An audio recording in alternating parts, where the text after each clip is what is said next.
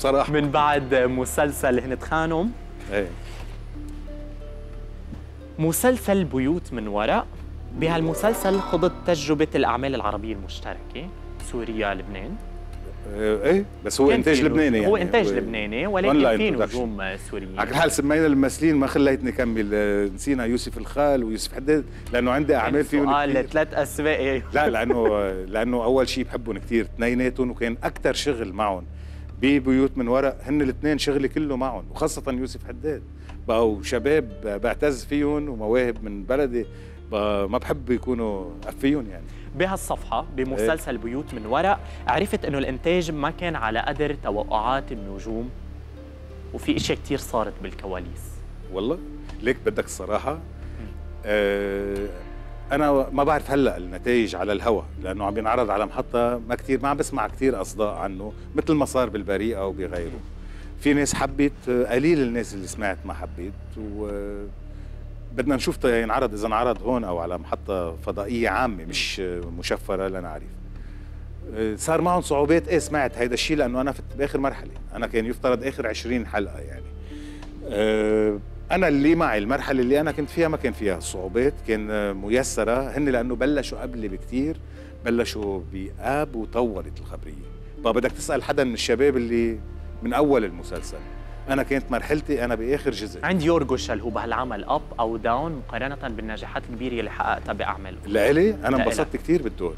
أنا الدور يعني نوعا ما هال sociopath آه، اللي لعبته يلي آه، دور آه، مجنون دور آه، sociopath بكل معنى الكلمة يعني. آه، بقى كان شغله experience كثير حلوة وبنيته للدور عملت شغله special فيه. يعني شفت قريت على الورق آه، وشفت آه، إنه بقدر أعمل فيه شغله انبسطت أول ما قريت إنه بقدر أعمل له هالاخوات وفيش خلق فيه يعني.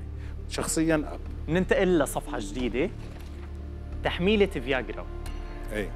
هاجمت الطبقة السياسية اللبنانية بقوة وبطريقة ساخرة وطلبت من شركة فايزر المصنعة للقاح فيروس كورونا بتصنيع تحميلة فياجرا إيه. نووية وكبيرة مثل ما قلت لمعالجة عجز المسؤولين عن القيام بواجبهم. إيه. التصريح بتقول عنه up أو down وما كان لازم أحكي بهالطريقة. شو؟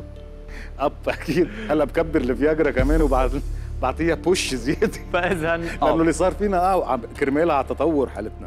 اللي عم بيعملوه فيها فينا التراكمي صار بدهم تحميلة أكبر يعني. أنا بعمل هلأ رشقة تحميل يعني. عم نشوف الصورة يلي شاركتها هيدا أيام كورونا. مع يعني. التعليق. خلينا ننتقل لصفحة أخرى. إيه،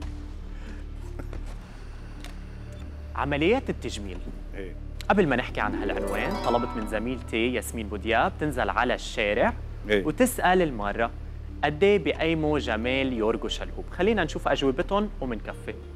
قد إيه بتعطي علامة على عشرة على جمال ممثل يورجو شلهوب؟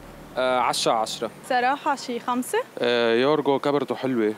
آه، سبعة. لا بيستاهل يعني هو شي ثمانية ونص تسعة منيحة. 8 10 9 حلو كتير. يعني تسعة. ثمانية تسعة تسعة ونص. بحط له 8 من 10 يعني 8 من 10 جماله ما شاء الله أنا بعطيه والله بصراحة عشرة من عشرة. بحس إنه 8 من 10 بيطلع كثير منيح. بعطيه 100% لأنه كتير حلو. شي سبعة؟ يمكن للشيبة أكثر لأنه الشيبة حلوة بتبقى هيك. 5 بالعشرة. 9 على 10 8 ونص.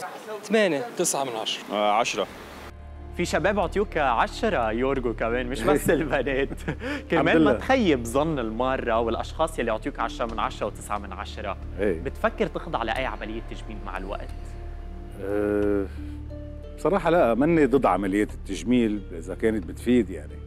بس أه أنا من أنا وصغير بحب ال- التجاعيد. أه كنت حسها بالممثلين الكبار بتعطيهم هالقساوة هال هالتقل هالعمر كأنه خطوط العمر يعني. في عندها هال هالشيء اللي ما عنده إياه شاب. طب أنت بتقول أب أو داون للممثل الشاب يلي بيخضع لعملية تجميل. ما حر. هو كيف. شايفها بس أنت هو كممثل. ما فرقاني ما بالنسبة لإلي أنا ما بحبها إذا حدا عنده شيء déformation إذا ما عنده شيء وخضع لعملية. يصطفل هو مبسوط هو مرتاح بس أوقات عم ينزعوا شغله. يعني أوقات عم تبين كتير واضحة.